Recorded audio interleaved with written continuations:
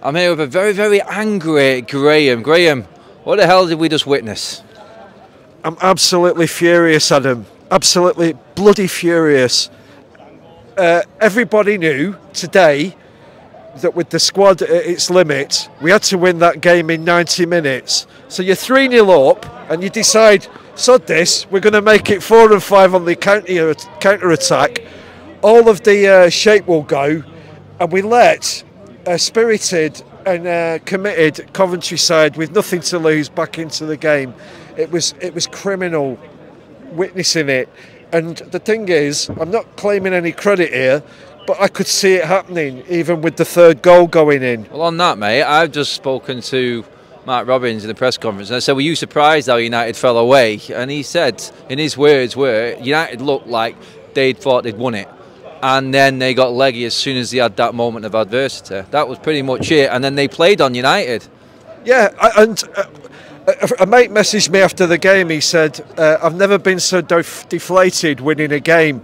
And I've said to him, it's all right to create drama at 2 3 down against Liverpool. You know, you, you need to do something. You need to create drama. Not when you're bloody 3 0 up against Coventry. You need to sh- shut the game down. Shut it down. Control the game. Is that Ten Hag's fault for you, Dan? Managing the game. A lot of people have gone in on man management today. Do you know what? I mean, I, I witnessed I witnessed Ferguson's games against Oldham that are three all. But um, the kindest thing I can say about that was Oldham were closer in terms of the way football was in 1990 and 1994. Um, but surely to God, you've got experienced players on that pitch who actually won as the penalty shootout. Let's let's be fair. Um, their their know-how in penalty shootouts actually got us through that game. But you know how many players are going to be affected from that extra 30 minutes? Um, I mean, I messaged you uh, at three all and said this manager cannot go on. He cannot. I'll have a look at that message in a minute. He cannot. He cannot sustain that level of incompetence and it was Adam. It was it was incompetence.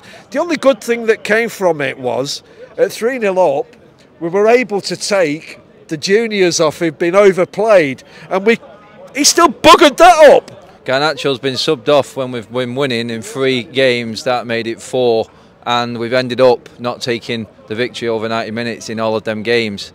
Well, tells you everything, doesn't it? It tells you everything. And the other thing is, anybody watching that game now knows what the hierarchy is of the substitutions because all the experienced players come on. Amad was the penultimate substitution, and Omari, For- Omari Forson was the last one. And he wouldn't have got on. He wouldn't have got on had we not been so stretched. The, the academy graduates who, who filled the bench might as well have been um, serving flowers to the crowd. I mean, seriously. Um, football football is a, is a, is better than this, Eric. You know, we've got we've got to a final.